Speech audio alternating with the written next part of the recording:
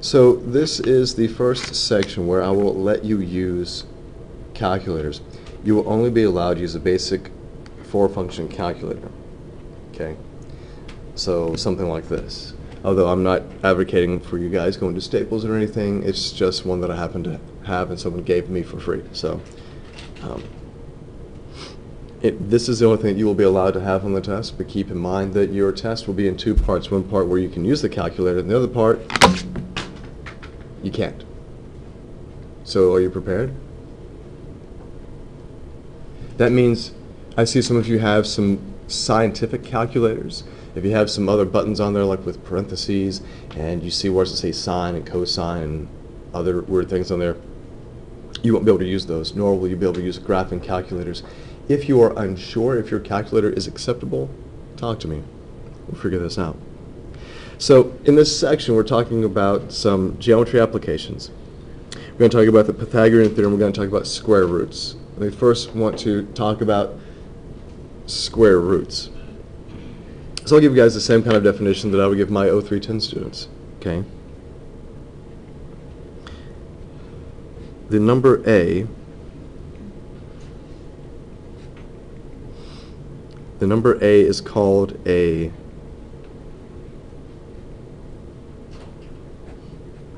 square root of b if a squared equals b. The number a is called a square root of b if when you square that number you get b. Uh, for example, we would say that 5 and negative 5 are both square roots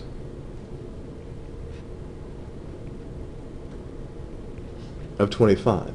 5 and negative 5 are square roots of 25. Why is that? Well, if I were to take 5 and I square that, what do you get? You get 25. If I were to take negative 5 and square that, what do you get? Don't you still get 25? Because when you square this guy, what does it really mean to square negative 5? A negative times a negative. That means negative 5 times ne negative 5. So negative times negative is positive. Okay? So that's what it means to be a square root. Now if I ask you for the square root, then I will use this symbol right here. This is the symbol for the square root. Now, more specifically, this is what we call the um, the principal or the positive square root. So that's the symbol that I use for that. Please understand, this is not division. I've seen too many students use the square root symbol to do division. And I don't know who taught you that, but I will tell you right now that that person was wrong. You can quote me on that, and you've got the video evidence I'm telling you that this does not mean division. And whoever taught you that is wrong. Now, I use this symbol for finding the positive or the principal square root. So if I were to say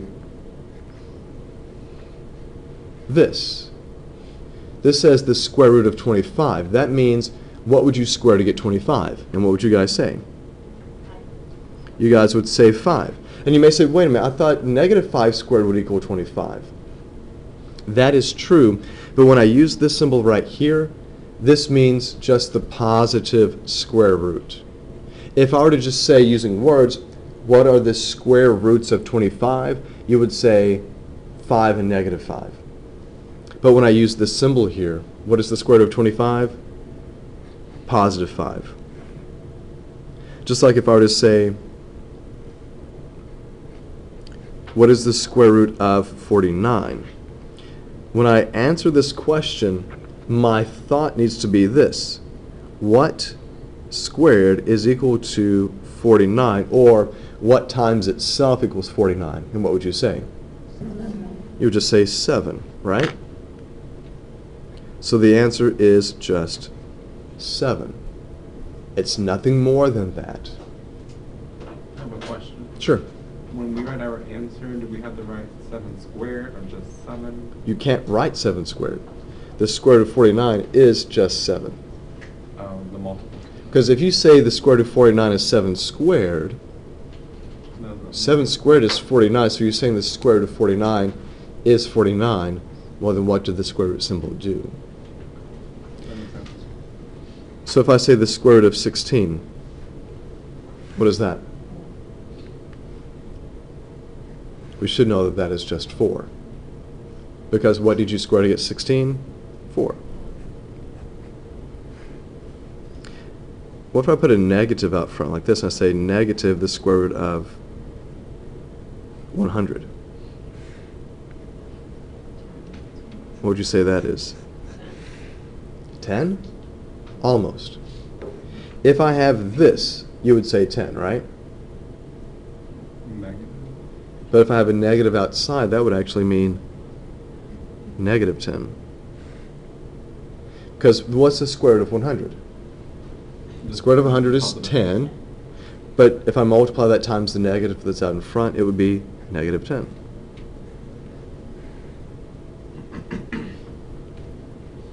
What do you think? It's kind of like dividing, right?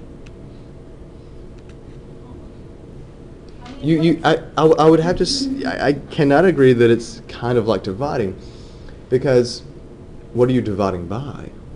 Well, seven into forty-nine. But how did you know seven went into forty-nine?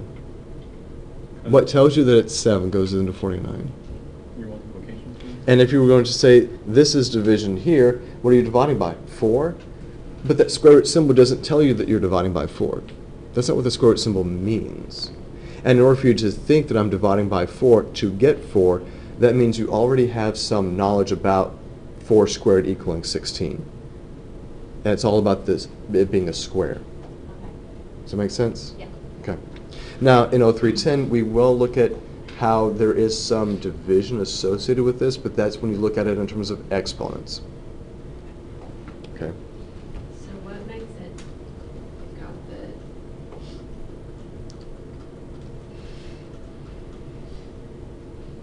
What makes the what? because up there with the negatives, it gets rid of it, because the negative times the negative. Right. You were, so the question is, up here, if I square a negative, it becomes a positive. that is correct. This is about the order of operations, though. Order of operations here would say this guy gets done first. And what's the square root of 100? 10. And then you apply negative to that. You're not squaring a negative. It's just a negative, or the opposite of the square root of 100. So the opposite of the square root of 100, so the opposite of 10 is negative 10. Now you've got to be careful though. Oh, that sounded interesting.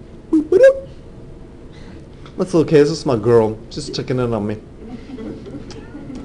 Dear honeybee, I'm in class right now. I'll get back to you later. Hey, don't be jealous that I've been chatting online with babes all day.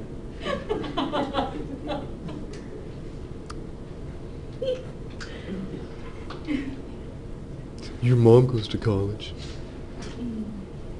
That one, that one's for you. So what's the square root of negative 36? Negative. So you have to be thinking about this guy right here. What squared would equal negative 36?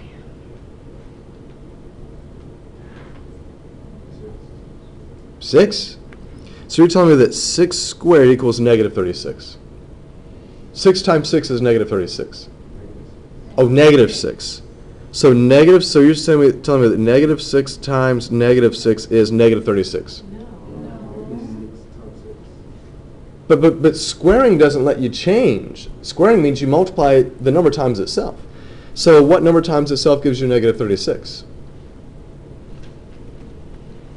Well, there's a problem with this. This is a non-real answer. We can't do this right now. In 0310, at the, almost at the very end of 0310, we'll talk about this, but right now we can't. So be very careful.